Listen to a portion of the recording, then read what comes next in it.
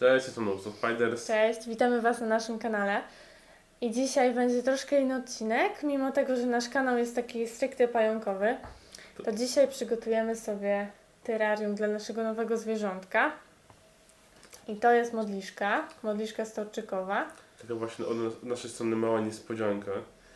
Pewnie jest, znaczy, może jest znana, ale jest mało pokazywana na internecie, więc można powiedzieć, że to jest coś nowego. Zakupiliśmy dla niej właśnie takiej, taką tubę plastikową. Ona ma chyba 20 cm wysokości i średnica jest chyba 15, 15. cm. 15 No. cm. Około. 25 nawet mam się wydaje, wiesz? No to może no 25. Jest dość duża i będzie właśnie odpowiednia dla tej modliszki już jako takie docelowe terrarium. A właśnie docelowe terraria, które według internetu powinno być dla takiej modliszki, dla dorosłego osobnika, to 15-15 na 20, więc podobne wymiary i, powinno tutaj- nam to wystarczyć. I tutaj mówimy o samicy, bo samiczka z tego gatunku dorasta do około 6-7 cm. A samce dorastają do od 2,5 do 3. Tak, centymetrów, więc są dużo mniejsze. I mieliśmy zamiar wykorzystać troszkę ładniejszy pojemnik niż taka tuba. Chcieliśmy użyć takiego szklanego jakby słoju, butelki, z takim korkowym właśnie tutaj zamknięciem. Ale stwierdziliśmy, że jednak lepsza cyrkulacja powietrza będzie w plastiku, no bo w szkle wiadomo nie zrobimy sobie otworów, ewentualnie ten korek, ale to i tak jest mało. A dodatkowo właśnie nie, nie, udało nam się znaleźć jakiejś szerszej takiej tuby niż ta. Ta ma, nie wiem, z 7-8 cm. Więc nie za wiele. A mamy plan na zaaranżowanie, który zaraz zobaczycie. A jeszcze jak chcemy jakąś aranżację dołożyć, właśnie mamy takiego storczyka przygotowanego, ale to zaraz zobaczycie. Powiem Wam, że to jest bardzo ciekawe zwierzątko. My w sumie nie byliśmy przekonani do modliszki wcześniej. Łukasz tam chciał, ale ja raczej nie chciałam, bo się troszkę bałam modliszek. W sumie dalej się jej trochę boję, bo Ale pewnego dnia Weronika weszła na wujka Google, popatrzyła, wpisała tam w Pradze modliszki, Google grafika, patrzy, modliszka na storczyku, taka różowa, no to już wiecie, no to właśnie pokażemy Wam te zdjęcia też, to może też się ktoś zainspiruje, bo naprawdę jest przepiękna. Więc pierwszy temat, jak Weronika wróciła z pracy, Łukasz, chcesz jeszcze modliszkę? I tak, i tak, a to się to skończyło. A też ma bardzo ciekawe takie zachowania. Oczy ma takie ciekawe. No to co, odstawiamy tą butelkę, niestety. Będzie na makaron. I bierzemy się za robienie terrarium. Znaczy jest taki bardziej biedarium, ale no wiecie. Lepsze to, żeby właśnie modliszka się dobrze czuła, żeby miała dużo miejsca, niż żeby się męczyła, miała problem przy wodnicy.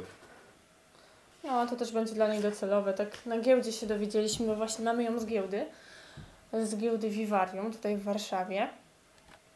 I pani nam powiedziała, że lepiej kupić takie, które już będzie docelowo, żeby jej tam nie zmieniać. Ona Nie się przyzwyczai. właśnie. I co, zabieramy się za urządzanie. I teraz Wam o tej modliszce troszkę opowiemy. E, Modliszka ta zamieszkuje lasy deszczowe południowo-wschodniej Azji, czyli kolejno Indie. Spotkać ją możemy także w Birmie. A także w Chinach. W Tajlandii. Na Borneo i w Malezji. Po łacinie modliszka nazywa się Hymenopus coronatus. I modliszki te żyją w koronach drzew, często właśnie na storczykach. Przez swoje ubarwienie są prawie niewidoczne, a wyglądem przypominają kwiat i właśnie w ten sposób polują na swoją ofiarę.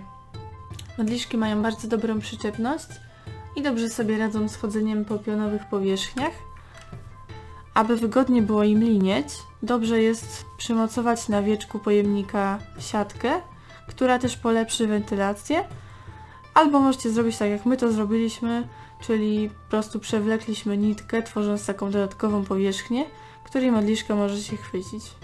I to jest sposób podpatrzony u innego youtubera. Być może będziecie wiedzieli, kto tak zrobił. W terrarium warto umieścić wiele roślin, tak żeby modliszka czuła się jak najbardziej jak w swoim naturalnym środowisku. Można oczywiście użyć storczyków. My dno tuby wyścielimy mchem reniferowym w dwóch odcieniach zieleni i dodamy też różowy storczyk. U nas będzie to akurat sztuczny storczyk i zagniemy gałązkę tak, żeby dopasować ją do dna pojemnika. Szykując terrarium dla modliszki, warto wziąć pod uwagę sposób, w jaki ona linieje. Do prawidłowej wylinki modliszka potrzebuje na tyle dużo miejsca, żeby mogła zrzucić skórę w wygodnej dla siebie pozycji stojącej. I musimy tutaj doliczyć dwa razy długość jej ciała, ponieważ przyrosty u modliszek są naprawdę bardzo duże. Jeśli chodzi o warunki w terrarium, zapewniamy im ciepło na poziomie około 26-30 stopni w dzień, a w nocy około 20-24 stopni i duża wilgotność, jednocześnie duża cyrkulacja powietrza.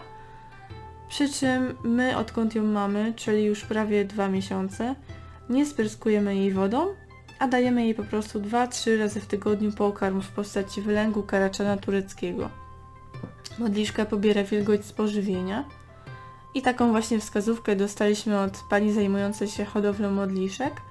Jest to łatwy sposób, aby modliszka nie wyschła, a też unikniemy w ten sposób pleśni w pojemniku. Są to modliszki dość agresywne, nie nadają się do hodowli grupowej. Są one jednymi z największych, ale i najpiękniejszych modliszek. Samice dorastają do 6-7 cm i przechodzą w swoim życiu 7 wylinek. W sumie żyją około 1 roku. Samce są dużo mniejsze, dorastają do 2-3 cm, przechodzą 5 wylinek. Po osiągnięciu dojrzałości żyją kilka tygodni, a w sumie żyją do pół roku. Samiczki są też dużo ładniejsze, mają ubarwienie biało-różowe, a samce raczej biało-brązowe. Ok, jak widzicie nasza modliszka jest już na wieczku. Tutaj widzicie też te nitki, które jej wykonaliśmy. No i nawet ją dla Was nakarmiliśmy. Jak widzicie chętnie przyjęła pokarm. Poleca się dla modliszek pokarm latający, aby mogły na niego właśnie polować, ale jak widzicie nasza bez problemu radzi sobie z karaczanami z pensety i bardzo chętnie je. Możecie też podać swoim modliszkom świerszcze bananowe, bo są one z tych świerszczy, które mają nieco cieńszy pancerzyk, więc modliszka sobie poradzi z takim świerszczem. I pamiętajcie też o tym, że modliszki są bardzo, bardzo żerte. Jeśli będziecie je dużo karmić, to one będą dużo jadły, a przez to mogą być po prostu bardzo napchane. No i mogą wystąpić problemy z zachowaniem równowagi takiej modliszki. Może się ona przechylać, jak będzie miała cięższy odwłok od reszty ciała po prostu. A też dodatkowo warto karmić nieco rzadziej, żeby modliszka nie urosła Wam za szybko, bo wtedy wiadomo, przyspiesza się cały proces jej dorastania. No i będziecie po prostu się krócej mogli nią cieszyć, jeśli Wam będzie przychodziła bardzo szybko wylinki.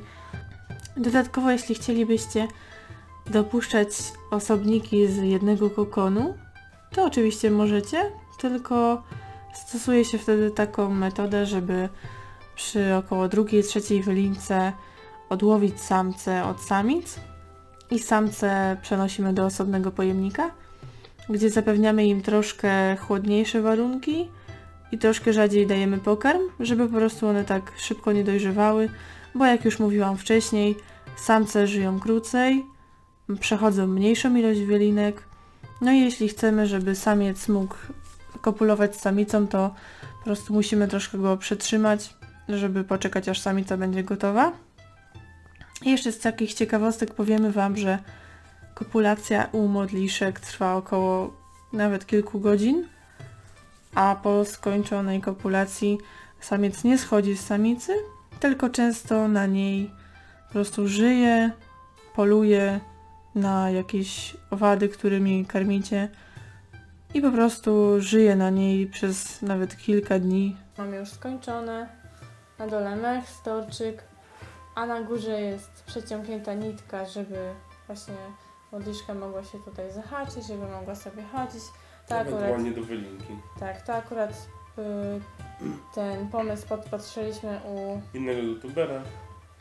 Bardzo fajny, więc postanowiliśmy zastosować u siebie. Możecie jeszcze na przykład sobie y, wykroić tutaj górę i zastosować taką siateczkę. Właśnie tego typu tutaj mieliśmy dołożoną, ale też może być zastosowana na przykład gaza. No a my po prostu właśnie zrobiliśmy wentylację, już nam się tak naprawdę nie chciało bawić właśnie z jakimś tam dokładaniem, wycinaniem. To też się sprawdzi, więc po co sobie robić roboty? Dajcie znać, czy Wam się podoba takie urozmaicenie na kanale. Czy byście chcieli jakieś e, filmiki kolejne z modliszką? Jakieś karmienie, coś w tym stylu.